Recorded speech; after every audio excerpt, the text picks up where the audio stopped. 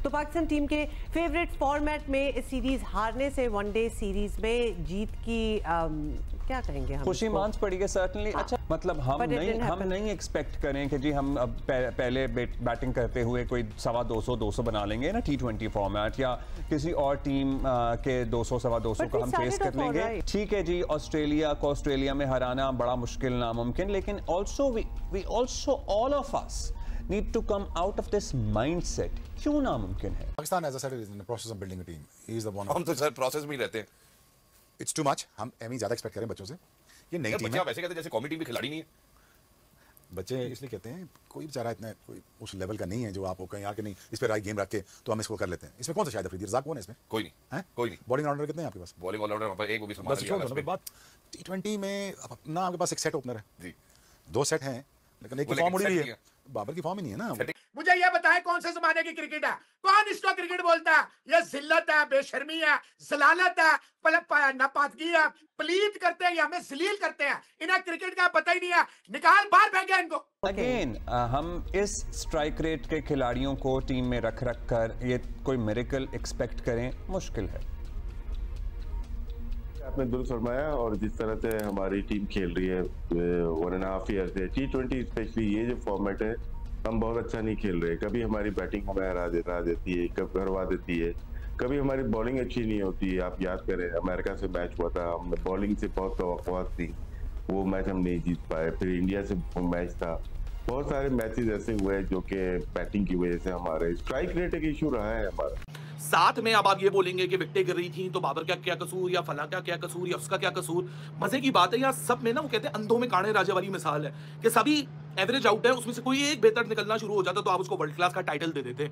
वरना आज होना क्या चाहिए था कि जब दूसरों की विकटें गिर रही थी तो एक सीनियर बल्लेबाज था, जिसको पाकिस्तान में कहा जाता है is the best Pakistan has ever produce तो आज उसको फिर ज़िम्मेदारी ले लेनी चाहिए थी पावर प्ले के बाद। लेकिन नहीं, हमारे यहाँ दूसरे एंड से विकटें गिरती रही, जो कि सेंसलेस क्रिकेट खेली गई।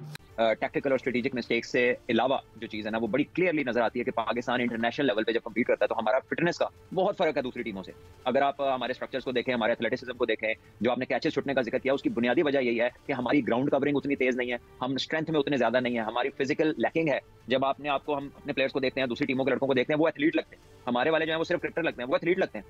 उनके जो जिसम है, वो बने हुए हैं, वो लगता है कि प्रॉपरली ट्रेंड है फॉर पर्पज तो वहाँ पर पाकिस्तान में बहुत सारा काम होने वाला है। सिलेक्टर्स और बाकी लोग चाहते थे कि बाबर आज़म को ये मैच में ड्रॉप किया रिजवान उनको एक और चांस देना चाहते थे और उसके बाद रिजवान ने खुद बैठ के, बाहर बैठ के उनको चांस देना पसंद किया, लेकिन वो खुद बाहर बैठ गए तो ये एक स्टोरी है, जो एक है। अदरवाइज़ मुझे लगता है कि ऐसा करना नहीं चाहिए था रिजवान को बिकॉज़ अगर आपने यंगस्टर्स भी डेवलप करने हैं ना तो ग्राउंड के अंदर आप होंगे तो उनको अच्छे तरीके से यूटिलाइज कर सकेंगे और आपको पता होगा कि किसकी क्या स्ट्रेंथ है क्या वीकनेस है। इस तरह आप एक नए कप्तान को अंदर उतार देते हैं। और आप खुद बाहर बैठ रहे हैं, कोई अच्छा प्रेसिडेंट आप सेट जय हिंद दोस्तों, आप सबका इंडिया में जान पर स्वागत है। दोस्तों, आज आखिर मैच था टी ट्वेंटी सीरीज़ का और पाकिस्तान का टूर का भी ये आखिर मैच था। पाकिस्तान को लग रहा था सीरीज़ तो हार चुके हैं, लेकिन मैच को जीतकर शायद कुछ इज़्ज़त बचा ले। लेकिन ऐसा हुआ नहीं। स्टार्ट तो अच्छा मिला एक तरीके से, लेकिन बाद में पाकिस्तान बुरा खेला और लग रहा था जहाँ पर शायद 160 70 करेंगे।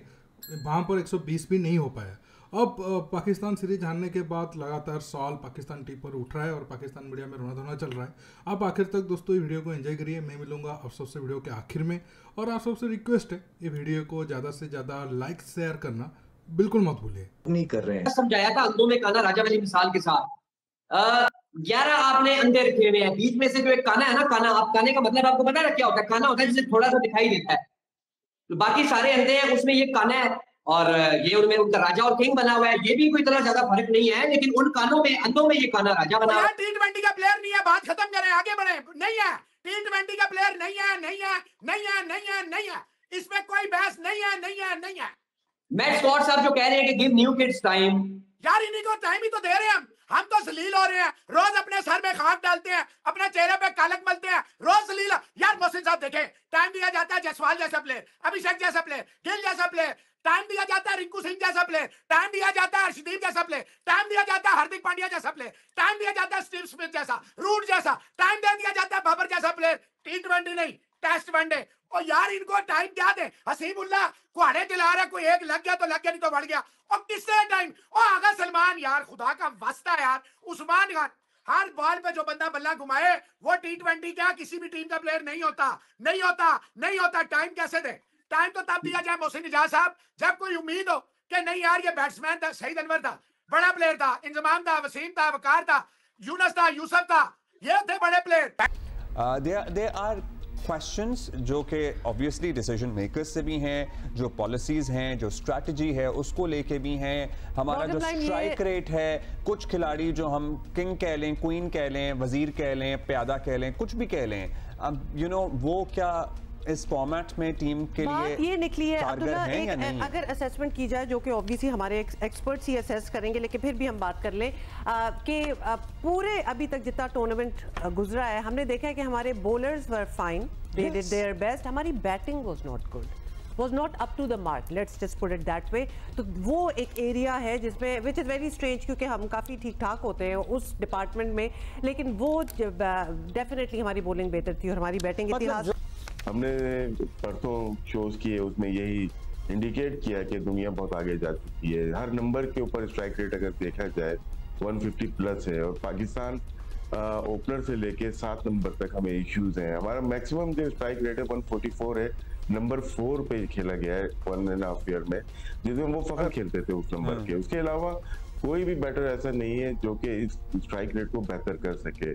पिछले मैच की बात करते हैं जीता हुआ मैच था और हम्म। अगर हम 150 भी नहीं कर पाएँगे तो इसका मतलब है कि हमारी बैटिंग में बहुत ज़्यादा फॉल्ट है। आ, दुनिया एक ओवर कराती है एक बॉलर से फिर सेकेंड ओवर दूसरा फिर तीसरा फिर चौथे बॉलर चार ओवर डिफरेंट बॉलर हम लोग दो ओवर शाइन से ज़रूर करा रहे हैं और शाइन टी ट्वेंटी में बहुत अच्छी बॉलिंग नहीं कर रहे। उन्होंने दो मैच में सिक्सटी प्लस छह ओवर में कंसीड किए हैं जो कि उनका खासा नहीं है। नसीम शाह मुझे फिट नहीं लग रहे उनको भी। तो ये हमारी बॉलिंग के साथ बैटिंग भी फ़र्क पड़ रहा है। फील्डिंग आपने देखी ली है। तो इस फॉर्मेट में हमें बहुत मेहनत की ज़रूरत है और पाकिस्तान में या दुनिया में सबसे ज़्यादा देखा जाने वाला फॉर्मेट है, वो टी ट्वेंटी है। तो इसमें तवज्जो की ज़रूरत है। और हो जाएगी ये नहीं है कि लेकिन आपको चाहे आप हसीबुल्ला की बात करें आप चाहे साहिबजादा फरहान की बात करें आप चाहे उस्मान खान की बात करें उस्मान खान को बोलो कि कोई समझाओ कि तुम्हारा किस किस्म का बेहूदा शॉट था जो शॉट को तुम एग्जीक्यूट करने की कोशिश कर रहे हो you are not even coming to in the line of the delivery तुम्हारा जिसम इधर तुम्हारी बॉडी उधर तुम्हारी हेड पोजीशन उधर you are just trying to reach out to the shot what kind of display is this और game awareness किधर है? चलो यहाँ बाबर को भी वो लेवरेज दे देते हैं और बोलते हैं कि चलो दूसरों ने यहाँ साथ नहीं दिया दूसरों ने गेम अवेयरनेस नहीं दिखाई तो ये बात गलत नहीं होगी। भाई, दूसरे खड़े हुए हैं। आप सिंगल लो स्ट्राइक रोटेट करो डबल लो, इतना बड़ा ग्राउंड है गैप्स ढूंढो। मैं अब आपको मज़े की बात बताता हूँ, जब साहिब ये अपना हसीबुल्ला और बाबर आज़म खड़े हुए थे, इनकी कोई पार्टनरशिप बड़ी ज़बरदस्त लगी। अब मज़े की बात है कि they were just scoring the runs at the square of the wicket front front of the wicket के ऊपर कोई रन्स नहीं थे, सारे स्क्वायर ऑफ़ द विकेट के ऊपर रन्स थे। तो बंदा यहाँ देख के बोलेगा कि यार मतलब आप किस, एक मेंटल ब्लॉकेज का शिकार हो। देखिए, अगर आप देखोगे आज जितना भी स्कोर किया है उसमें से बाबर आज़म अच्छा तो खेला है लेकिन बाबर आज़म का रिस्पॉन्सिबिलिटी बनता था। जब टीम में कोई सीनियर प्लेयर है नहीं और वो एक लौता ऐसे प्लेयर है जिसके पास एक्सपीरियंस ज़्यादा है और स्टार्ट भी अच्छा मिल चुका है तो वो आखिर तक खड़े रहते और आ, मैच को फिनिश करते या फिर स्कोर को थोड़ा और ज़्यादा तक पहुँचा सकते थे। अगर तो आ, पाकिस्तान का बॉलिंग अगर कुछ आ, मतलब उनके पास कुछ ऑप्शन होता कि ऑस्ट्रेलिया के ऊपर कुछ दबाव डाल पाए। लेकिन वो जिस हिसाब से आउट हुए लगा कि विकेट वो फेंक कर गए। चालीस रन बना दिए और उनके हिसाब से रन तो ठीक ठाक उनके स्टैंडर्ड का बन गया है। अभी टीम का क्या हालत होता है, नहीं होता है, उनके कुछ फ़र्क भी नहीं पड़ता है। और खबर भी ये था, रिजवान आज इसी वजह से नहीं खेला क्योंकि पाकिस्तान का जो मैनेजमेंट है, वो चाहता था कि रिजवान और बाबर आज़म आज़म में से कोई एक ही खेले। और बाबर आज़म ने तो ठीक ठाक ही खेला, लेकिन आप उनके स्टैंडर्ड के हिसाब से नहीं कह सकते हो कि वो रन काफ़ी था। अब तो चलो टी ट्वेंटी ख़त्म हो गया, अब आने वाले टाइम में पाकिस्तान को काफ़ी मुश्किल का सामना करना पड़ सकता है अगर ऐसे उनके हालात रहा तो। हालाँकि अब तो वो आवे टूर पर जाएँगे। देखना होगा वहाँ पर वो कैसा परफॉर्मेंस करते हैं। लेकिन ऑस्ट्रेलिया की बात मानना पड़ेगा कि वो वनडे हारने के बाद भी टी ट्वेंटी को थ्री ज़ीरो से जीत कर एक तरीके से पाकिस्तान से बदला पूरा कर लिया है। अब हमारा वारी है कि हम बीजीटी में ऑस्ट्रेलिया को सीरीज़ हरा कर ना सिर्फ़ तीसरी बार ऑस्ट्रेलिया में जीते, बल्कि champions trophy, sorry, test championship final को हम क्वालिफाई भी करें। दोस्तों, आज के टॉपिक में बस इतना ही। आप इस मुद्दे पर जो भी राय रखना चाहते हो, नीचे कमेंट बॉक्स में कमेंट करके बताइए। और ये वीडियो को ज़्यादा से ज़्यादा लाइक, शेयर करना बिल्कुल मत भूलिए। दोस्तों, रुकता हूँ बहुत जल्द और एक न्यू टॉपिक के साथ मिलूँगा। नमस्कार, जय हिंद।